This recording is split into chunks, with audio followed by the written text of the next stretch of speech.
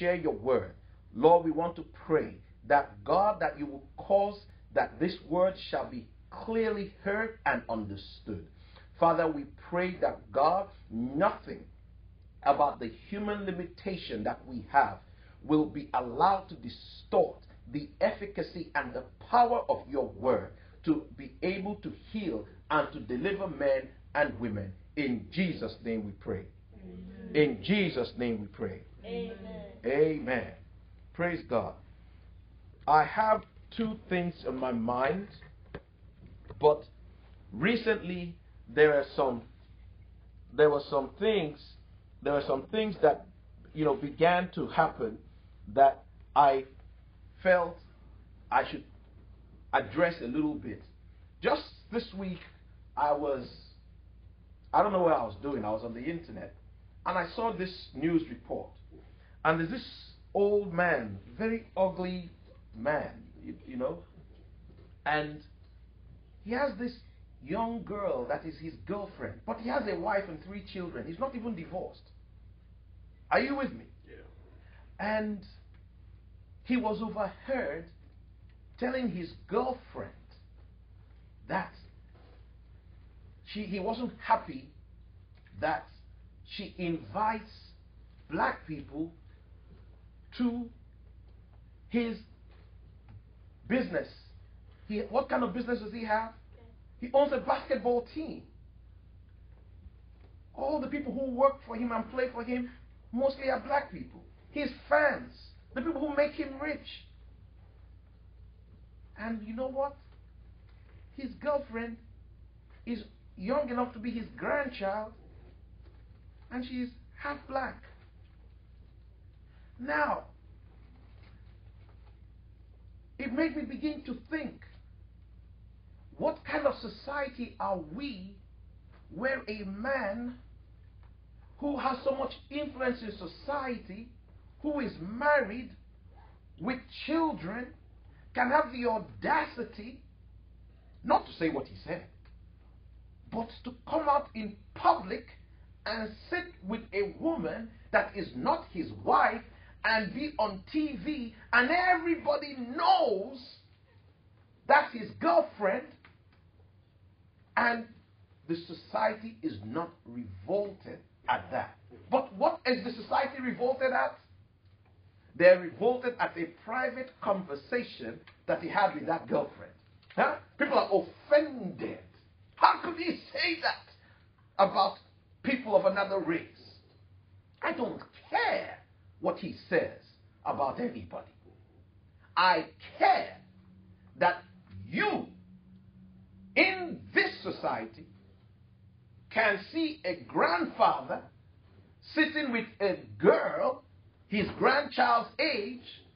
You know he is married with three grown children, and he can even sit in the front row in TV, and you, the people of this society, are not even ashamed to identify with him. You deserve what you get from such people.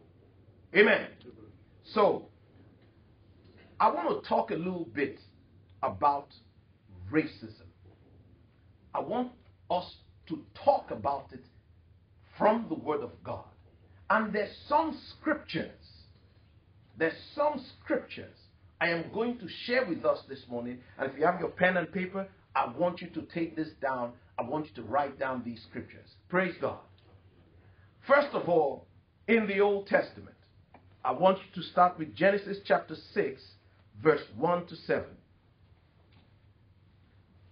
Deuteronomy chapter 7, verse 1 to 6. Numbers chapter 12, verse 1 to 16. I'll repeat my Old Testament scriptures. Genesis chapter 6, verse 1 to 7. Deuteronomy chapter 7, verse 1 to 6. Numbers chapter 12, verse 1 to 16. And in the New Testament,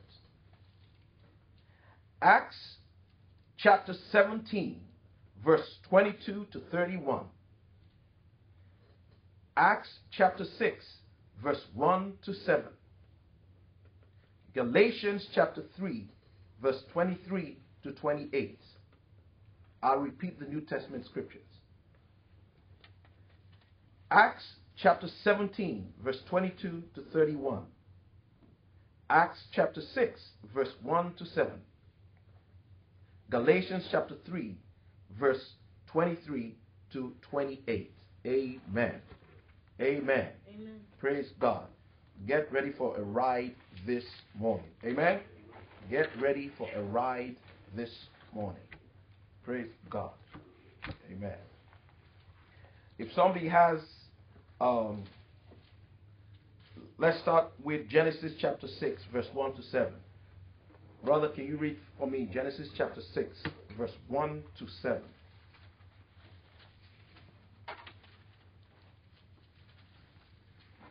Genesis chapter 6, verse 1 to 7. Amen. And it came to pass when men began to multiply on the face of the earth, Amen.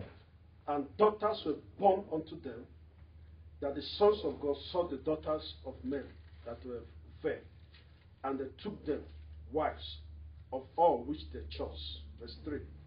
And the Lord said, My spirit shall not always strive with man, for that he also his flesh, yet his days shall be an hundred and twenty years. Verse 4. There were giants in the earth in those days, and also after that, when the sons of God came in unto the daughters of men, and they bare children to them, the same became mighty men which were of old, men of renown. Verse 5. And God saw that the wickedness of man was great in the earth, and that every imagination of the thoughts of his heart was only evil continually. Verse 6.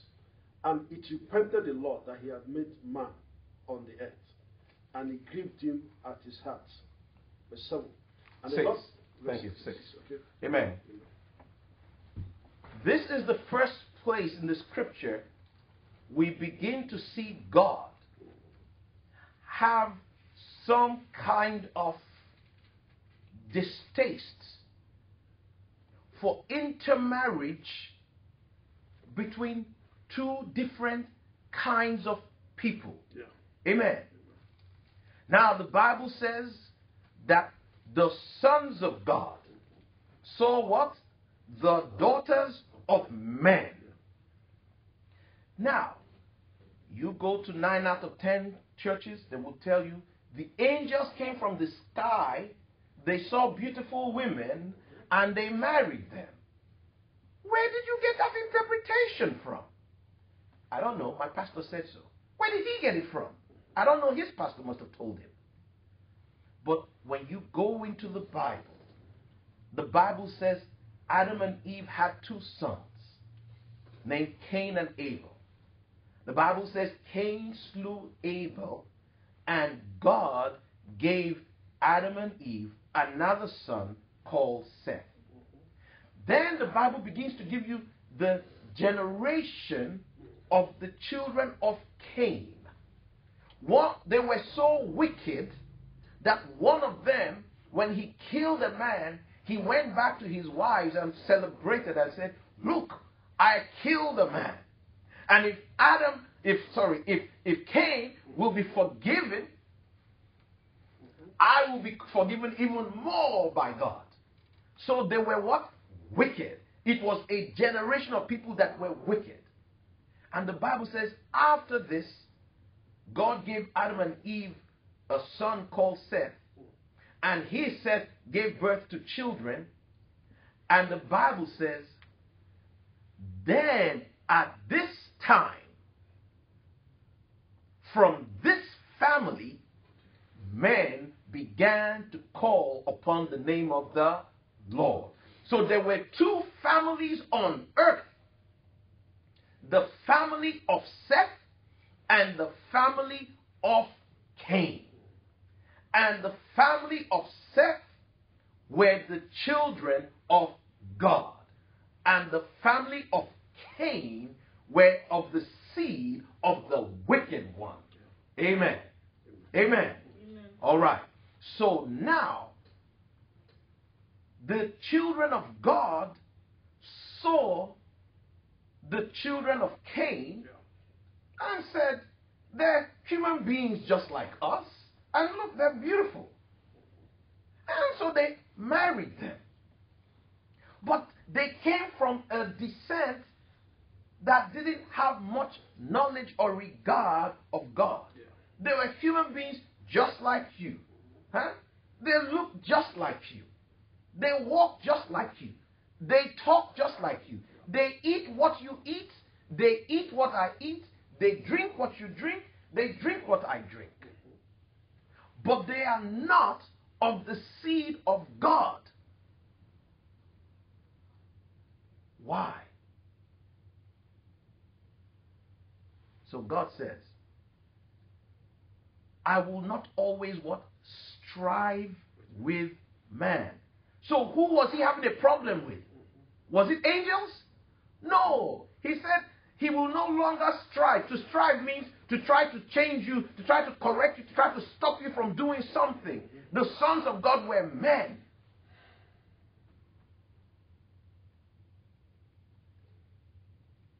And I'm going to share with you the only difference that God saw between the sons of Cain and the sons of Seth was that one group loved God, called upon God, and the other did not.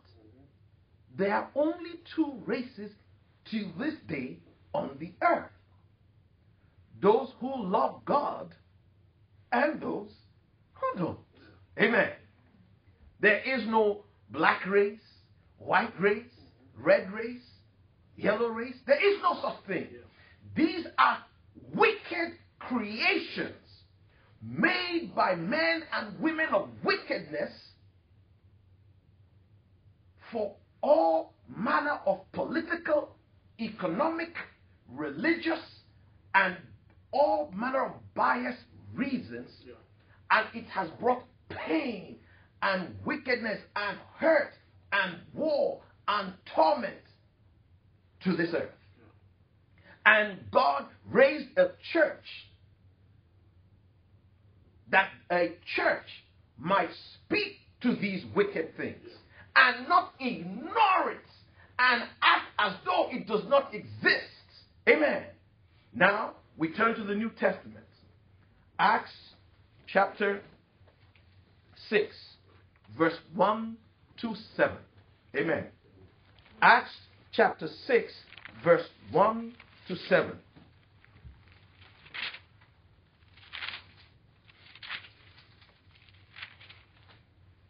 Amen. I'll read. And in those days, when the number of the disciples were multiplied, there arose a murmuring of the Greeks against the Hebrews because their widows were neglected in the daily ministration. Then the twelve called the multitude of the disciples unto them and said, It is not reasonable that we should leave the word of God and serve tables. Wherefore, brethren, look ye among you seven men of honest report, full of the Holy Ghost and wisdom, whom we may appoint over this business. But we will give ourselves continually to prayer and to the ministry of the word.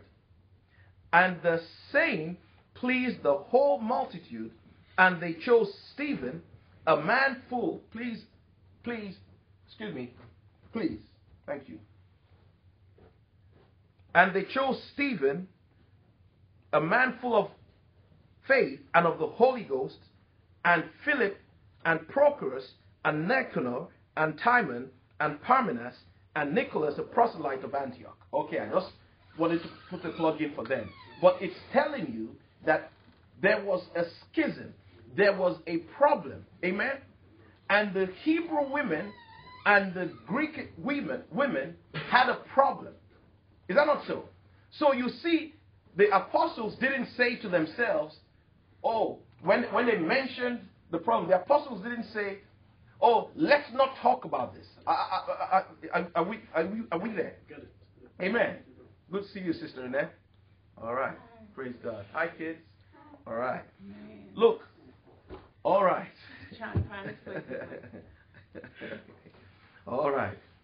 So it says, verse 1, Acts chapter 6, verse 1 says, And in those days, when the number of the disciples was multiplied, there arose a what?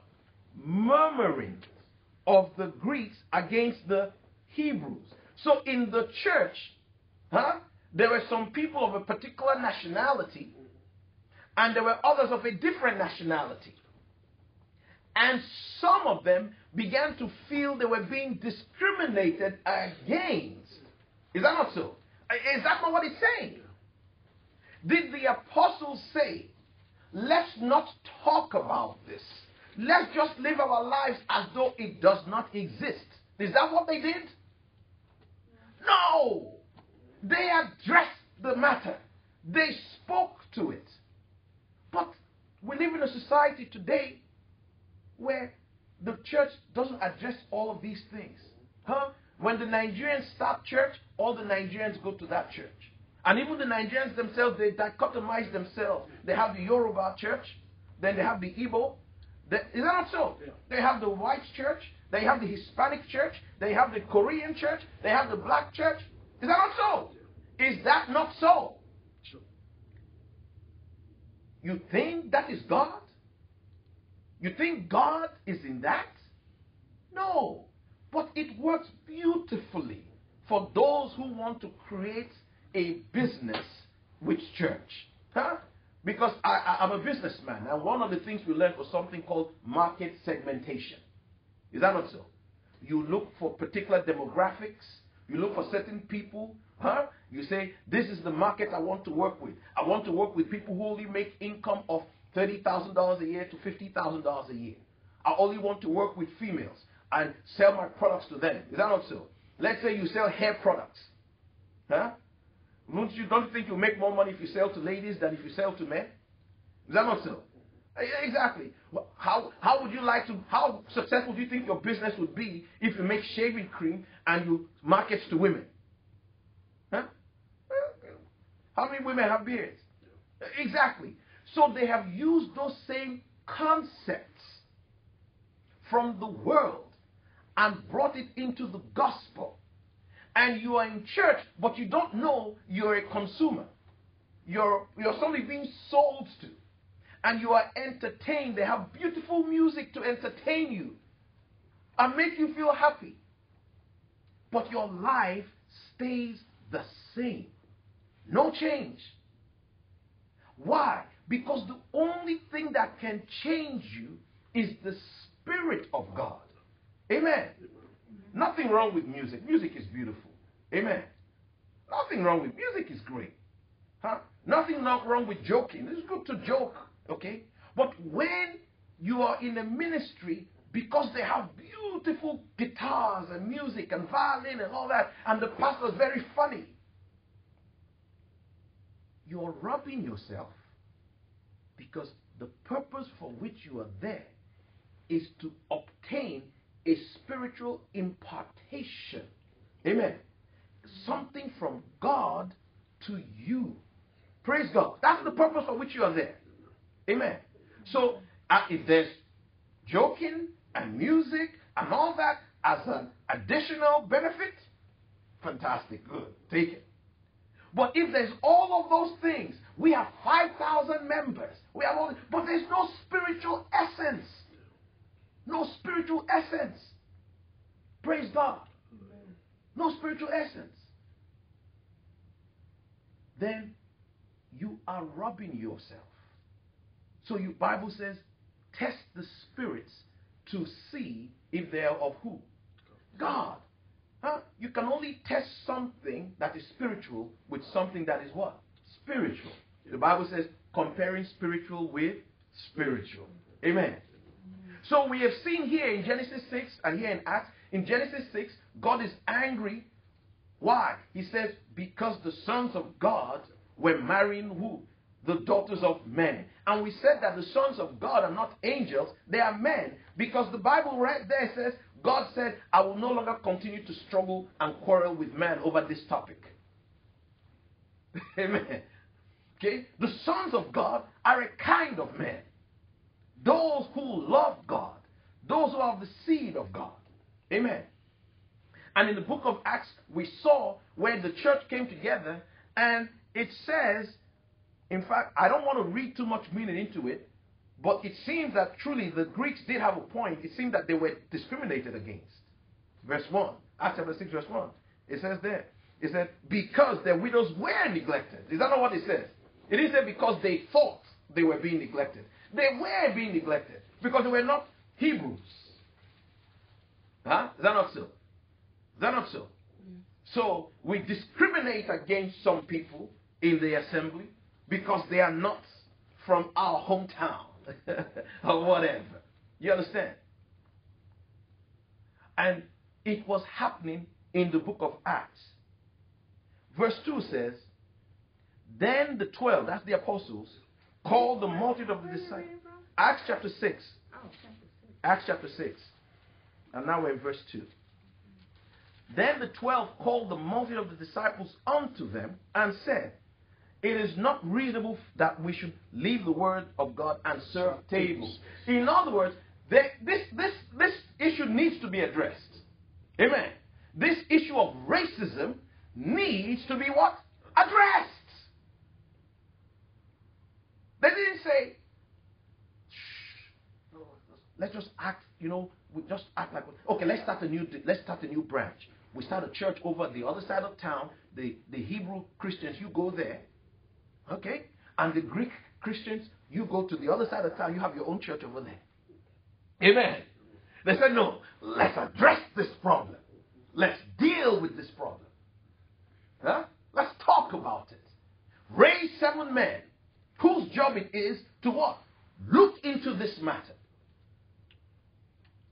while we attend to prayer and fasting. Because there's a level you get to, amen. You're spending your time in prayer and fasting. Is that not so? But there are other people in the church whose job it is to manage the brethren. Because there will be schisms, there will be problems, there will be people who feel left out. Right? Somebody has to look out for them. Somebody has to go out and let them understand that's okay. And somebody has a problem. Uh, uh, since my husband died, they don't regard me in church anymore. That happens. But if there's nobody to go look for this woman, no, you know what I'm saying? So she'll be all there all on her own. Yeah. All right. So just to just to un- understand that what we're doing this morning, the word we're going to this morning is, is scriptural. So anybody there saying, why is he talking about race? No, it's in the Bible. So we should talk about it. Amen. We should talk about it. Don't want to talk about it, that's your problem, but I'll talk about it. Praise God. Now, let's look at a very funny scripture. Okay? Numbers, go to the Old Testament now. Numbers chapter 12, verse 1 to 16. Old Testament, Numbers chapter 12, verse 1 to 16.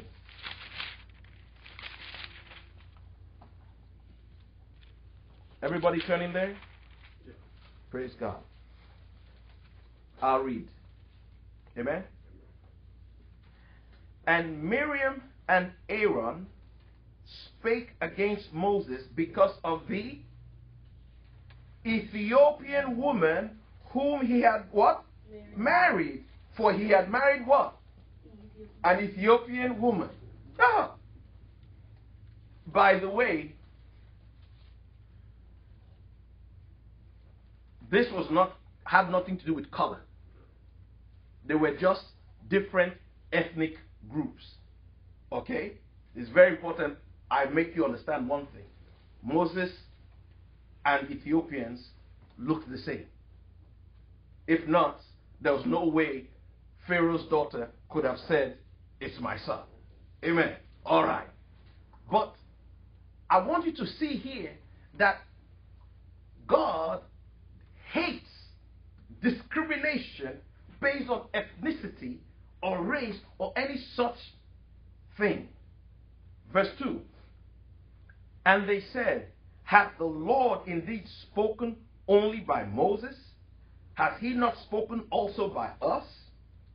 And the Lord heard it. Now, the man Moses was very meek above all the men which were upon the face of the earth. And the Lord spake suddenly unto Moses, and unto Aaron, and unto Miriam, Come out, you three, unto the tabernacle of the congregation. And they three came out.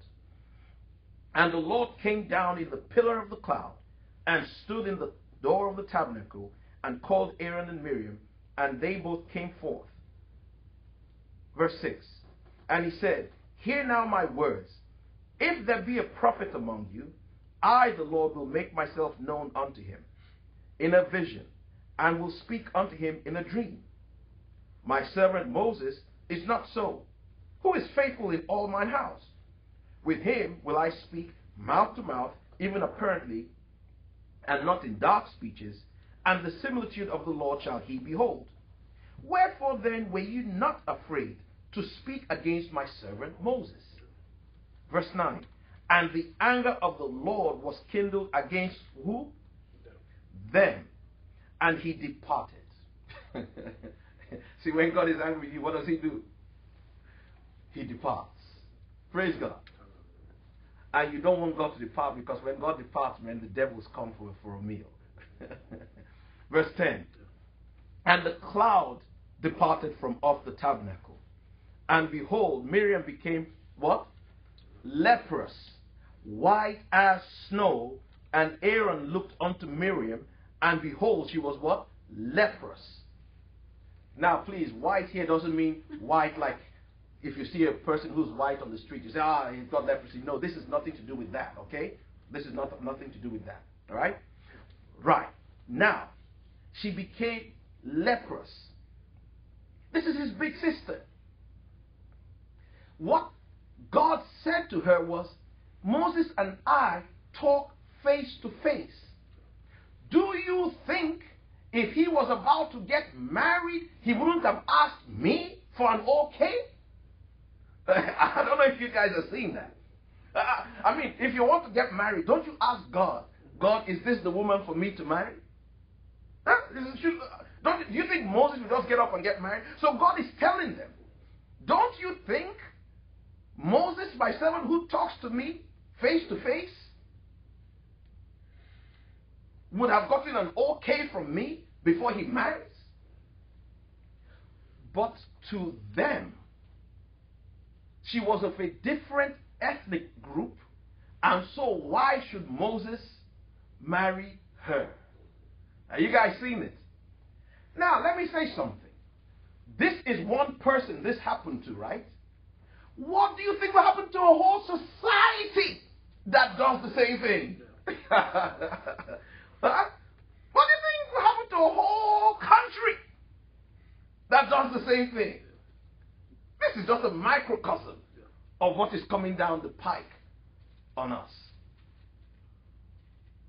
And the church needs to deliver itself from this condemnation by setting ourselves free from this sort of wickedness. Amen. The Bible says God is no respecter of persons, for among all nations and amongst all peoples, all are accepted by him who call upon his name. Amen. Amen. It's clear. All right. Verse 11. And Aaron said unto Moses, Alas, my Lord, I beseech thee. He's calling his, his younger brother my Lord. Uh, his eyes are finally clear now. All right. Alas, my Lord, I beseech thee, lay not the sin upon us, wherein we have done foolishly, and wherein we have sinned. Let her not be as one dead, of whom the flesh is half consumed, when he cometh out of his mother's womb. And Moses cried unto the Lord, saying, Heal her now, O God, I beseech thee. Verse 14.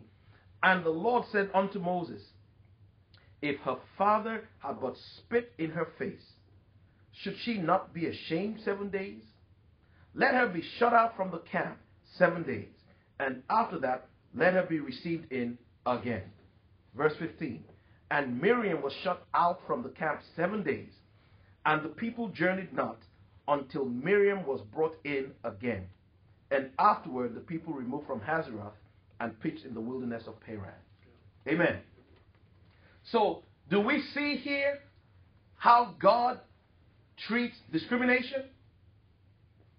Amen? Do we see how God treats it? You still want to discriminate against somebody of a different race? You think that's cool? Huh? You still think that's cool? Why did he marry a white girl? Why did he marry a black girl? Huh? Why did he marry Yoruba? you think that's cool? Well, you got leprosy on its way. And what is leprosy? Leprosy means the inability to become, to be sensitive to touch. That's all it means. It simply means you lose the capacity to what? Be sensitive to the things of God. Amen. And you continue in sin and wickedness with joy and happiness. You will not even know there's anything wrong. They were angry at the man because he said to his girlfriend, Don't bring black people to my basketball game. Even though all his players were black. Even though half his fans are black. And even though his girlfriend was half black. And we're all angry. How dare he say that? But while I was reading the story, I saw that it says he is married, he has three grown children, and his girlfriend is young enough to be his granddaughter. I said, and he even comes out on TV and sits with her, and the whole society knows we were not angry at that. Now we're angry. Huh? Now we're upset. But no, if we're not careful, we're going down with him. Unless he repents, of course. Amen. Praise God. Praise God. All right. So let's go now to Deuteronomy chapter 7, verse 1 to 6. Because I want us to see where the idea comes from, okay, that has been misinterpreted. All right? Because remember when Jesus saw the woman at the well, the Samaritan woman, he asked her to give him water to drink. Is that not so? And the woman told Jesus, How come you, being a Jew, asked me to give you water? Do you understand what? You see, if you don't go back into history, you don't have any idea the meaning or the import of that question. Because to the Jews, if you drink from the same cup with a Samaritan, you became defiled.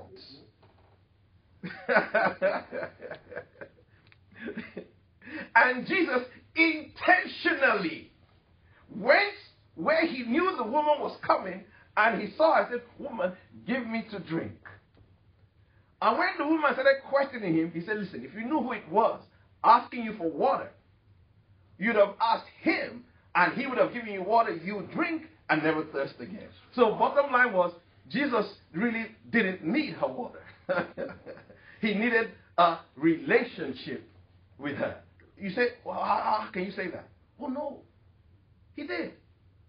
He wanted to have a personal relationship with her. Every single person that Jesus comes to meet, he comes to meet you for one reason to have a personal relationship with you. And he will use anything to draw you to him. Amen. All right, children, are you getting this? All right? He will use anything to draw you to him. Okay? And so, um, Deuteronomy chapter 7, verse 1. We'll take it from 1 to, 1 to 6. I'll read. When the Lord thy God shall bring thee into the land whither thou goest to possess, to possess it, and has cast out many nations before thee, and then notice it's going to give you seven, the name of how many nations? Seven of them, right? These are what we call the seven abominable nations. Okay? It's important that we understand them. So remember, you can underline those names when I read them out to you. It will be of value to you in the years to come. The Hittites, the Girgashites, the Amorites, the Canaanites, the Perizzites, the Hivites, and the Jebusites. Okay? Seven nations greater and mightier than thou. And when the Lord thy God shall deliver them before thee, thou shalt smite them and utterly destroy them. Thou shalt make no covenant with them, nor show mercy unto them. Neither shalt thou make what? You see it again? neither shalt thou make marriages with them. Thy daughter thou shalt not give unto his son, nor his daughter shalt thou take unto thy son.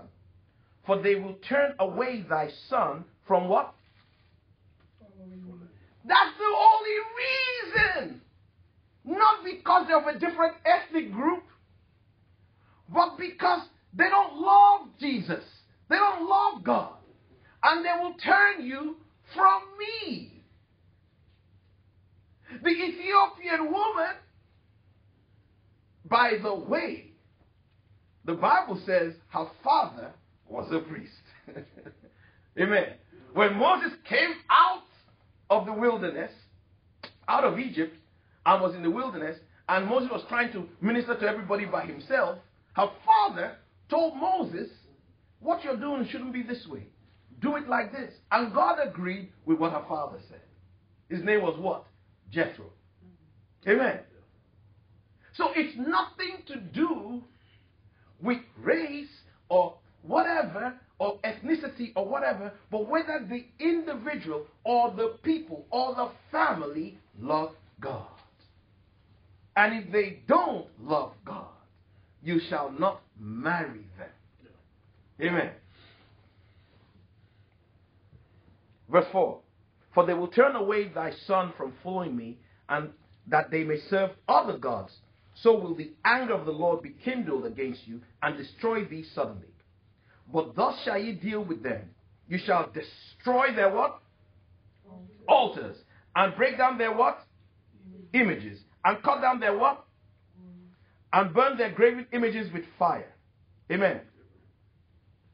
Did he say kill them? No. His problem is with what? Their religion. You see that? God doesn't discriminate against anybody by race. God never cursed any race or any people. No such thing. It's a blasphemy to accuse God of cursing any person, talk less of any people. Amen. Now, as time goes on, okay, we see that the people, of course, they fight with them, they have war, you know, they, destroy, they actually kill them physically and all that. You understand? Why? Because the people want to hold on to their religion and won't let the people move into the land, okay? But the primary thing that God has enmity with is what? Their religion. The, the fact that they are worshiping trees and groves and stones and all these things. And God doesn't want you to be in that in that in that line. Amen? All right. Now, Look at um, Acts chapter 17.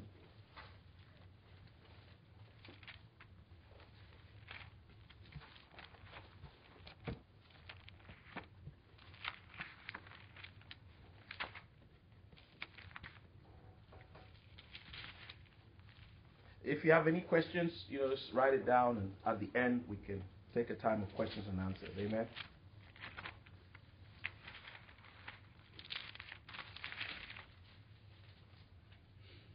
Acts chapter 17, from verse 22 to 31. I read.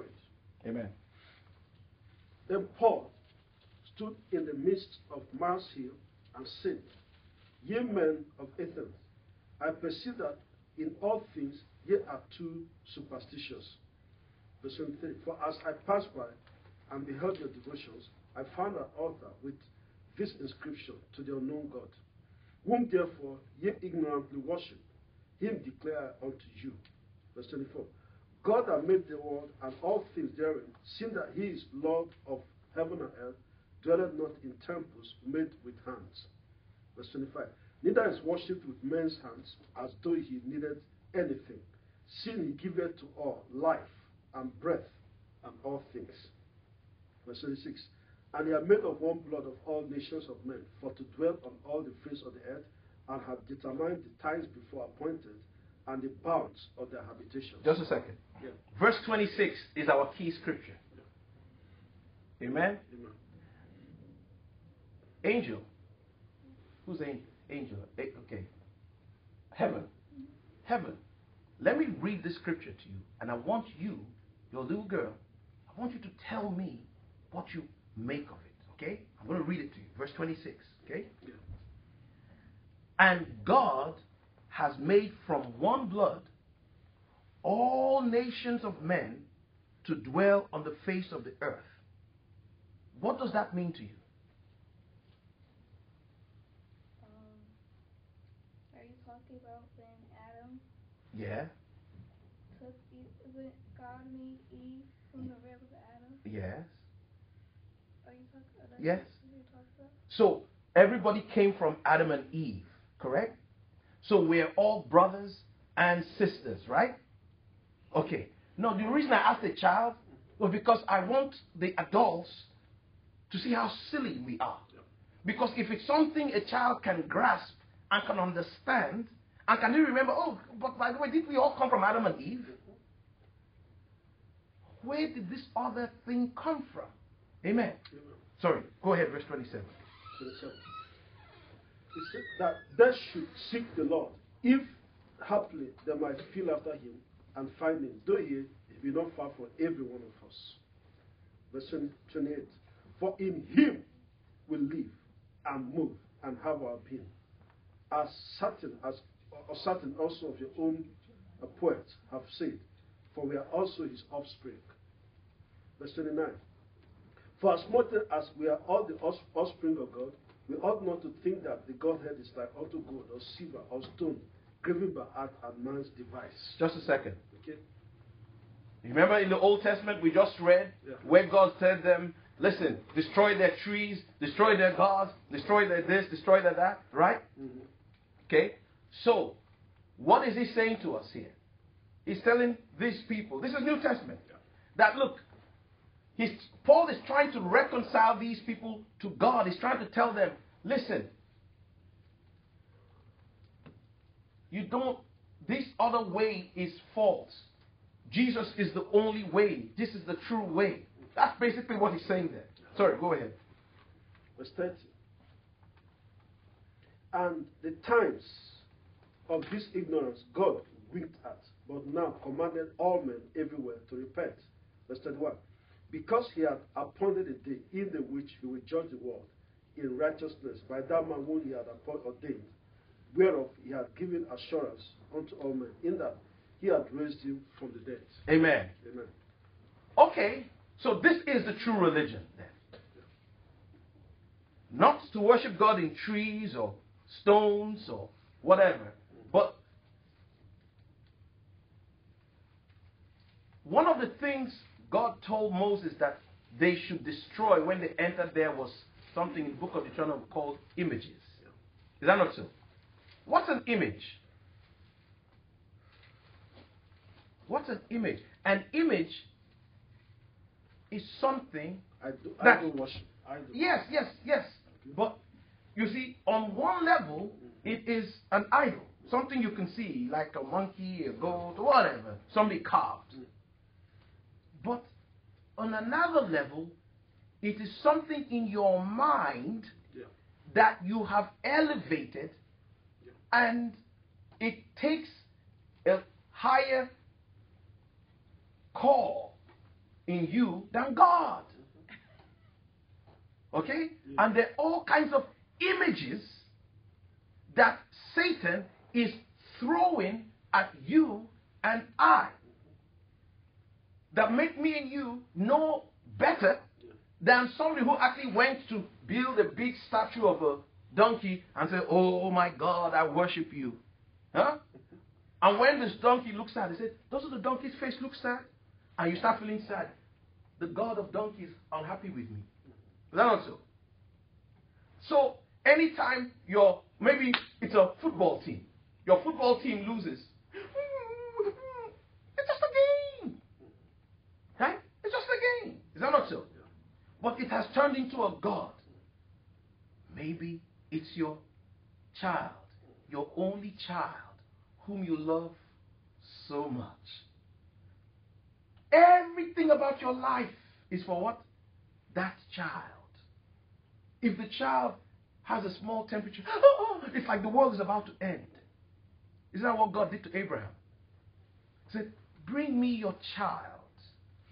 Your only child, whom you love so much. I mean, God really made it hard for Abraham, didn't he? Why did he just say, Give me your child, your only child? Or just give me your child. He says, Give me your child, one. Your only child, two. Whom you love. It's like God is reminding him how precious. I mean, it's like God is not making it easy for this guy. Amen. Why? Because this was an image. He had lived almost 100 years with no child. And now he has the child. And God says, Would you give it up for me? And I'm sure Abraham must have said a few years earlier, Of course, God. That one day God said, Okay, prove it. Are you with me? And so the Bible says, You and I are children of Abraham if we have the same faith of who? Abraham. My question to you is what image have you given up? What has it cost you to be a Christian? In fact, nowadays it's even a good job description. If you're looking for a job and the, your manager knows you're a Christian, he knows you're not going to steal their money. Huh? So, what has it cost you to be a Christian? Ask yourself, what, what, does, what does it cost you to be a Christian? Well, if there's no price, if there's no price, have you met somebody you want to marry and the person is not a serious, he's a Christian or she's a Christian, but they're not serious with God? And you say, let's just manage it that way. And I believe God will make him better as time goes on. It never works, does it? No. It never works. It never works. Do you understand? These are images. Or you meet somebody, he says, I believe in God, I go to church. But you ask her, where did you become a Christian? Says, I was born a Christian. Right there, you know you don't have a Christian. Nobody is born a Christian. At some point in your life, you have to recognize that there's something about your life that is incomplete and that that void needs to be filled. And when you pray to God, God reveals Jesus to you, and you ask Him into your life, and things begin to become better and move you towards a perfect day. Amen. Amen. All right. All right. Another scripture we said was um, Galatians chapter 3, verse 23 to 28. Galatians chapter 3. Uh, could you hit that, um, the live there, please? Galatians chapter 3.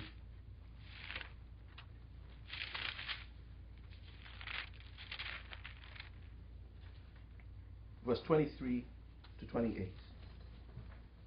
Go ahead, brother. Galatians chapter 3, verse 23. 20, yeah, 23 to 28. Okay. But before faith came, we were kept under the law, shut up unto the faith which should afterwards be revealed. Verse 24. Wherefore the law was our schoolmaster to bring us unto Christ, that we might be justified by faith. Verse 25. But after that faith is come, we are no longer under a schoolmaster. For, for ye are all the children of God by faith in Christ Jesus. Verse 27. For as many of you as have been baptized unto Christ. For what? Put on Christ. For what? For as many of you as